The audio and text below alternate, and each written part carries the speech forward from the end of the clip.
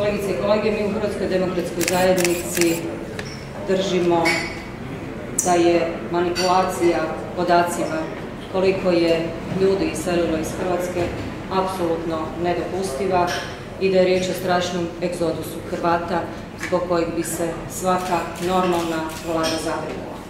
Kažu da je riječ o normalnim procesima. Podijelit ću vam ovdje službene podatke Migracijskog ureda u Njemačkoj koji kažu da je samo od početka mandata ove vlade do kraja 2014. godine službeno zatražilo dolazak i radne dozvole 44 tisuće hrvatskih državljana. Samo do kraja 2014. godine. Što kažu, kaže Grčić, da je iselilo 10 tisuća, tada Grbin kaže da je iselilo 35, uselilo 20 tisuća. Dakle, nedopustiva manipulacija podacima.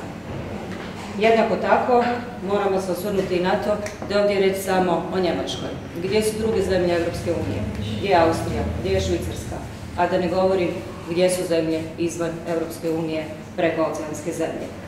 Za ilustraciju, tisuću liječnika i 550 medicinskih sestara zatražilo je dokumentaciju za odlazak iz Hrvatske.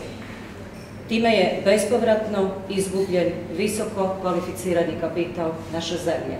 A vlada kaže to je normalno.